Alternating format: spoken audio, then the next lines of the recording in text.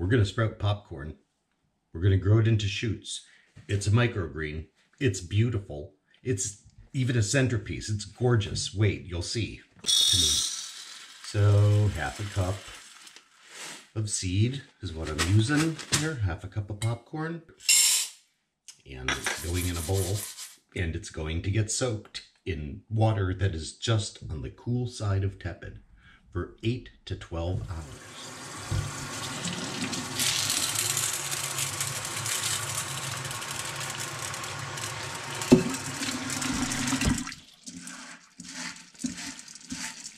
Stir them up to assure even water contact for all. And they're going to sit here with other soaking seeds. In the case of popcorn, we're actually going to wait 12 hours because it's a pretty hard seed on the outside and we want to give it time to truly absorb the water it wants.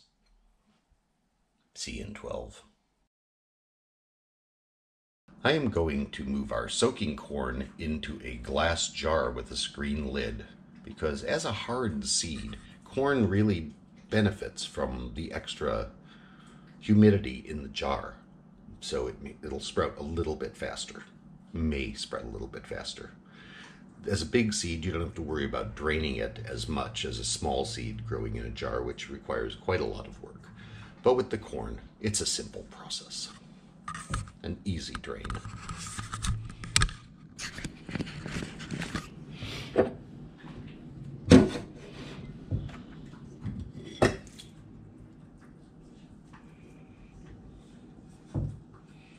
I'm just putting my corn and the water into the jar. Makes no difference. I'm just trying to minimize the loss of seed. I want no loss of seed. I could have just soaked this in the jar, obviously. I just wasn't thinking last night.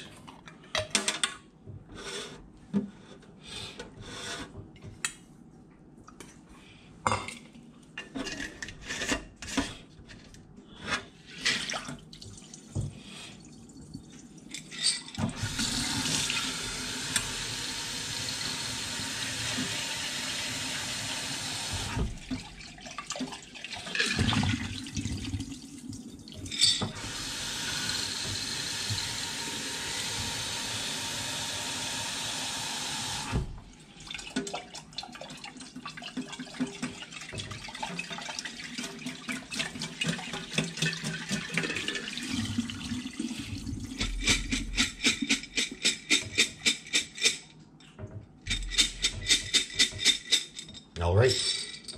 That's fine for corn. That's all it takes. The seeds are so big that even if there is a little water left, they're not going to drown. I've tried to find a way to say this for years. I've always been unsuccessful. The bigger the seed, the less it will be covered by water that's left behind after a draining.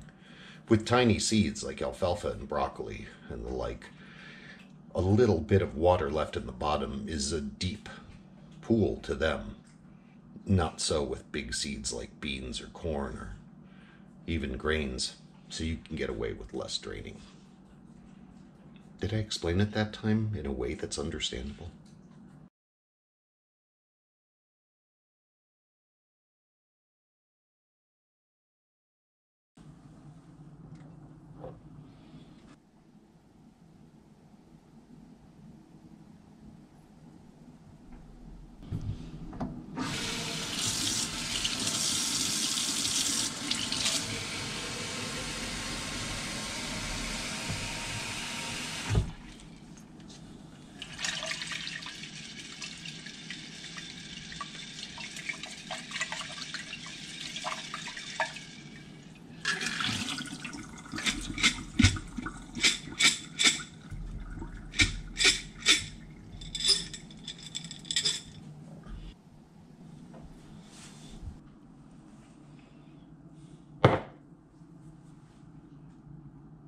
Our popcorn has sprouted enough that we're going to plant it now.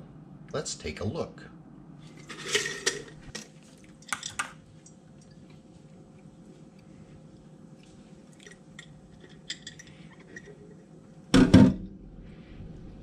I just want the germ bulging.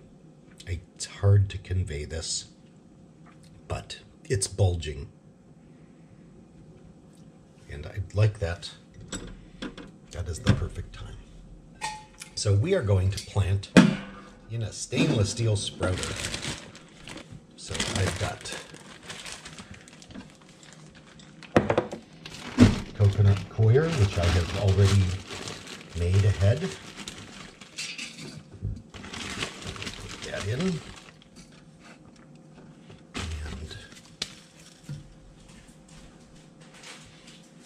I have some earthworm castings as well.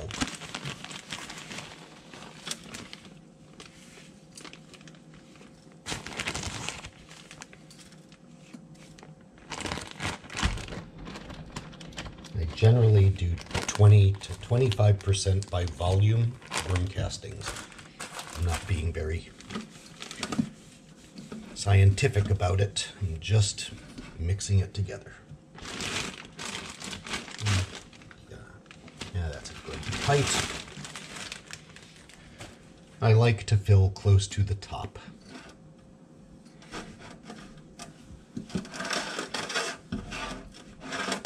mix it up a little.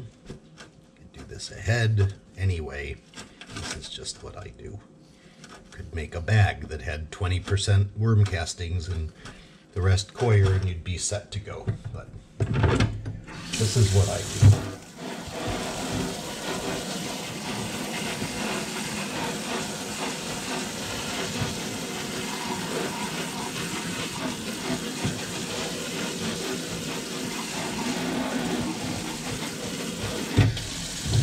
want it thoroughly moist. Ooh, nice and heavy. Then I put right on there. One left. And spread them around. That half cup looks like just the right amount. Just the right amount. I push them a little bit into the medium sometimes, like now, but it's irrelevant. I just like to touch seeds.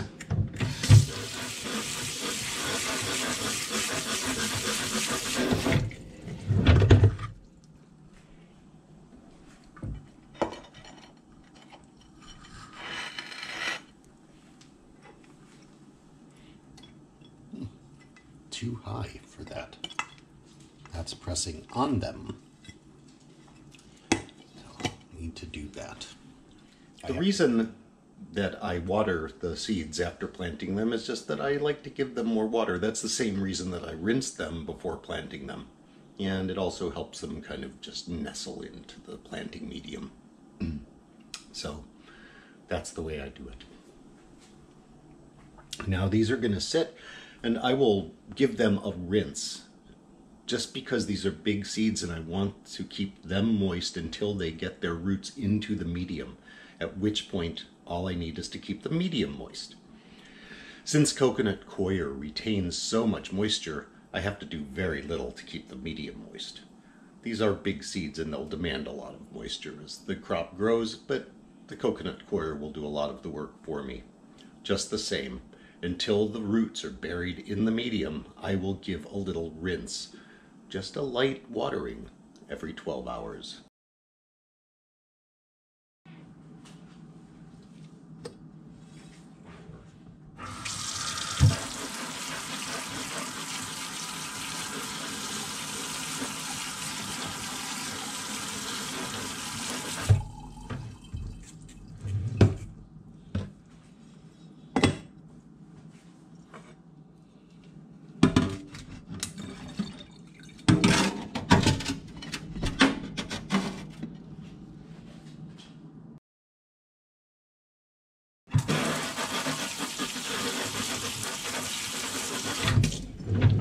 Want to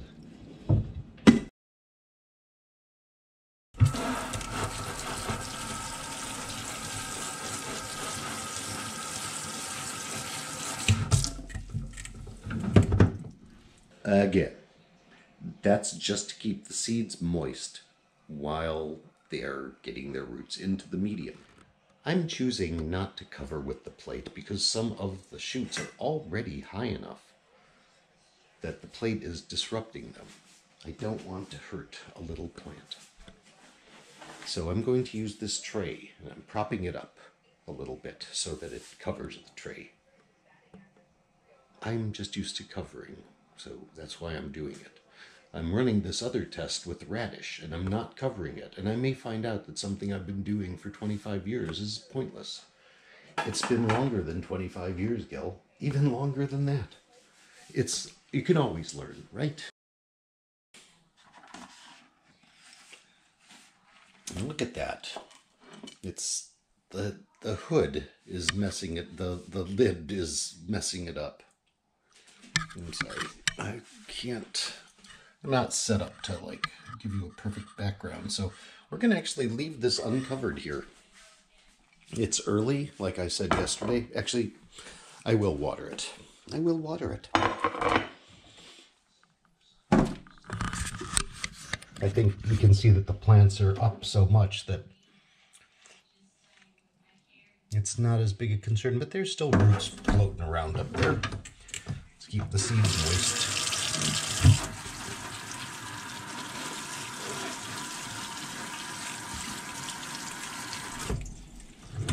Just a light watering.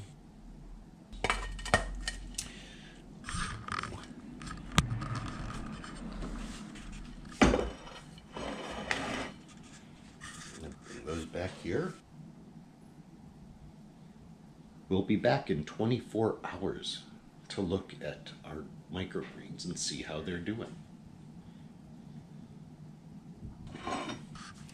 Our corn doesn't look like much, frankly, but that's typical of corn crops. I, like I say, I've never grown one without covering it for a while, but I don't think it needs anything. I really don't. And to prove the point, I'm not going to do anything to it. It's heavy with water. I think the roots are... Yeah, I'm just going to think that everything is taking care of itself now. And we'll see. If that doesn't work, I'll make another video.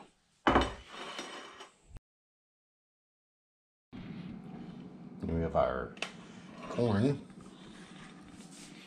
Still looks pretty squirrely, but looking better. It's going to fill out. Something you definitely learn in growing things is patience. Sprouts can be incredibly quick and rewarding crops, but a lot of things require patience. It's good. Patience is a virtue. It looked really beautiful this afternoon. I took pictures. Maybe I can put them here. It's looking nicer. Definitely filling in. We'll see. We're not watering it. It's still heavy. We'll just see what it does. You could water it. There's some little ones in there. You don't really have to worry about these. They're not going to get... They're kind of strong.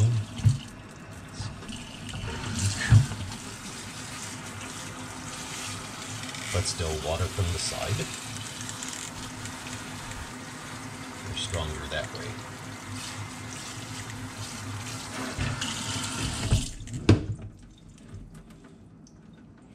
Okay.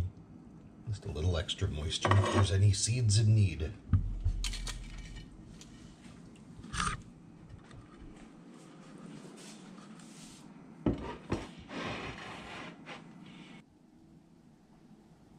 much fuller. They get much fuller.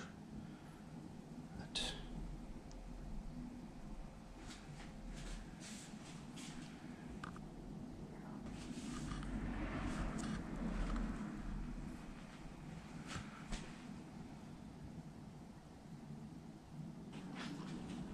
it's looking lovely. It's a nice crop. It is a nice crop.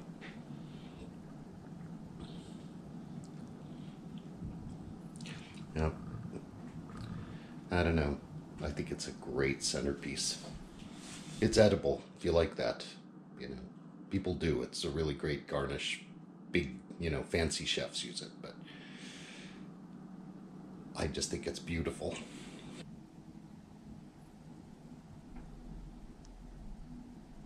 are looking marvelous. Are they?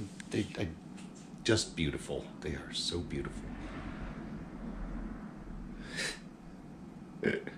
just man, they start out so spindly. Okay, I'm gonna give them some water. You know, you get used to the weight. It feels like it's quite moist, but I'm gonna give it some water.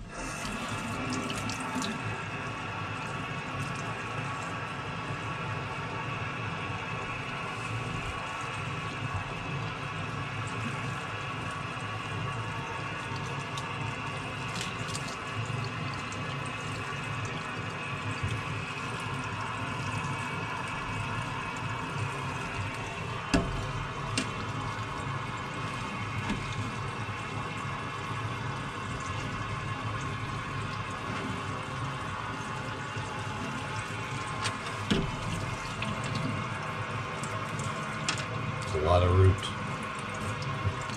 That's it. Back on the plate. I'm just going to keep growing them. You could certainly harvest them. They are totally prepared for that. I just want to max them out. I just want to see what I can make them do. And so this may be the last I show you of these until I come to cleaning up the sprouter. Um, but if you want to harvest, it's just a matter of cutting them with a sharp knife or a scissors. That's it, just as close to the base as you can. Or I guess as close to the base as you want to. You would just be cutting right here. I just have to show you this. I just can't get over it every day. I'm just like, this stuff's just better every day. I don't know if you can really understand what an incredible centerpiece this is. I don't, I just, this is a centerpiece. It's just beautiful. It's got nothing bad going on. It's got red stems now in places. I mean, it just gets better every day. All right, it's just living out here right now. And I haven't watered it in several days. It's still fine. Got to have been three, four days since I last watered it. There's the there's the boss. There's the boss. And there's the boss's boss. Am I right? Are you the boss's boss?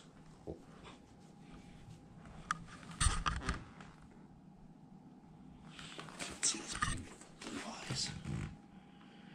I know you don't like camera. So that's it. Popcorn shoots. Who would have thought of it? Um, Lori suggests cooking them too, but I'm all about the centerpiece, honestly. I've told you up front, I don't eat them raw. They're just too sweet for me. A lot of people like them, but damn, they are beautiful. And now I still think it's incredible. How long has it been? This is a long lived centerpiece.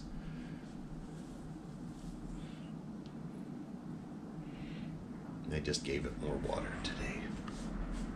It's been at least a week since I watered it last. I guess I should present that to you on the middle of a table. That would probably be a better idea. Our corn shoots still magnificent, but now turning color or browning on the edges in places. So I've got to get rid of these. That, how long did that last? Um, okay, so I want to see if this did any damage to the sprouter. It's a lot of root system. Okay, so I'm gonna cut these off with the knife. That's the sound of a cat hunting for treats. So let's, you know, I could, yeah, I could just pull it, but nah, I don't want to do that. That's crazy. So, like with every crop, I really just slide the knife across the bottom.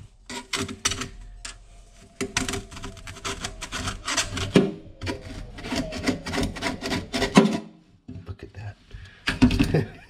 That's cool. Now let's go into the garden compost. That is nice. Look, it's like a doily, for God's sakes. It's nature's doily. Hmm, smells good. Plants. Okay, so now this will just pull out. Ta-da! Look at that. Look at that. Look at that. I'm sorry. just look at that. the roots on that thing. They just circled. Look at the... I'm sorry, just just look at that. Okay, so let's. This is like this is so dense. Jeez, I think I actually need a knife.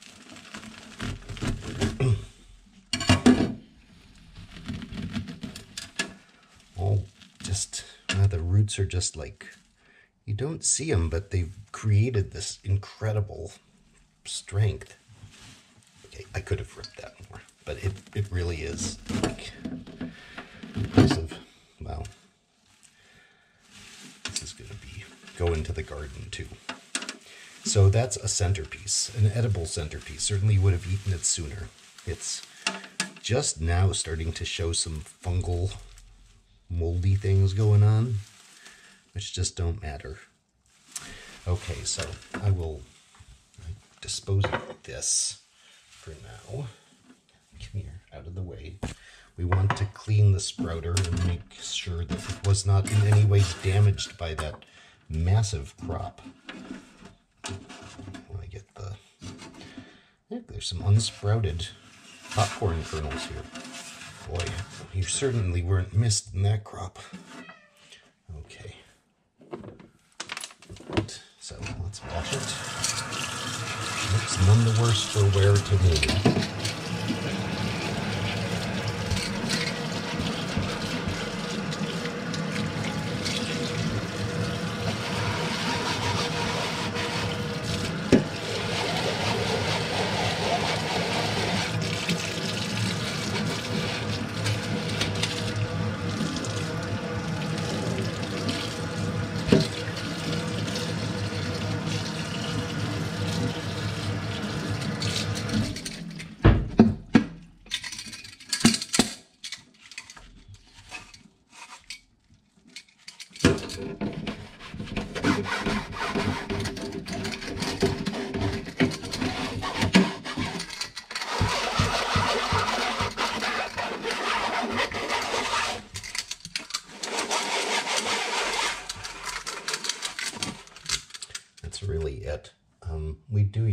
brushes in our kitchen.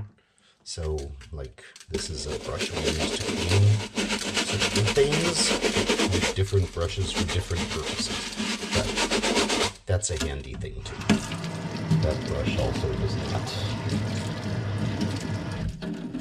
We don't often use it with soap. So I want to rinse that out.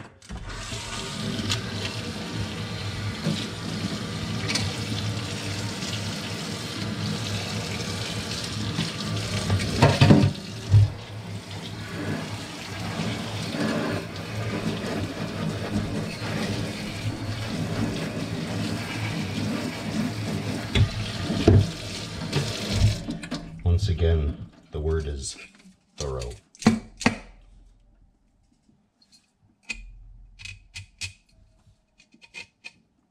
Root.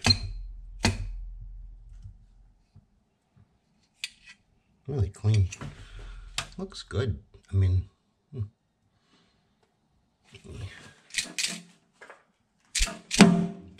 I actually did wonder if this would hurt it, but no, the screen I'm looking with this. I don't know if you can, I really don't think I can do this.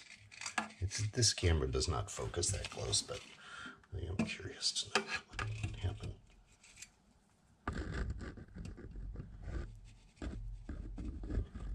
Good. No spreading, nothing. Right? Um, it's a great sprouter. It really is. It's just a simple design and durable. So there, grow sprouts in it, grow microgreens, grow an incredible centerpiece. I really like that. Thank you, corn, for your incredible contribution to beauty and now to my compost heap. It's actually a bin, but There's a heap too. All right, that's it for corn shoots. Uh, you know, I just want to make the point that that's basically the way you grow any microgreen. Any of the big seeds, so corn, peas, uh, sunflowers, buckwheat, grasses, oats, wheat, rye, whatever. Um, we soak those seeds and then we put them on a thoroughly moistened medium. I prefer the deep medium of coconut coir. And then you just keep them moist, just like we did with these. We keep them covered until they grow up. We actually uncovered these quite early because I planted them so high and it did not matter. So we're going to try that with sunflowers. I just have to say, I've been doing this for I'm I've lost count. It's 26. I'm in my 27th year of sprouting, and I am finding out things that I've always held to be truths, uh, to be questionable. So I really want to impart that these videos are intended to teach you what to look for in a crop, not to say do this many rinses, do this at this time. Get to know the crop. It's easy. Just keep it, like in this case, we're just keeping the seeds moist, then we're keeping the medium moist and it grows. Give it light. So that's the idea. Question everything, even me. And um, we all live in unique places, unique climates, and that will affect your crop. You know, we've done a, a broccoli video where it was done in six rinses. That's like crazy. It's a, it's a good 10, it's generally a 10 rinse crop. And 11's not out of hand, but 6, wow. But you got to be ready for that stuff. You just look at them, they're done, they're done. You can eat them anytime. As soon as they're soaked, they're healthy. You can't miss. It's all good. Once a, so, once a seed soaks up its fill of water, it is alive. It is transformed from a dormant seed to a living thing, capable of incredible power. You look around, it's they grow into these plants that grow more seeds if you let them. I mean, one pea will produce hundreds of peas, and one broccoli will produce thousands of broccoli seeds. But that's a different video. I do go on. Hope you enjoyed this one, and happy sprouting, happy growing. Grow more often.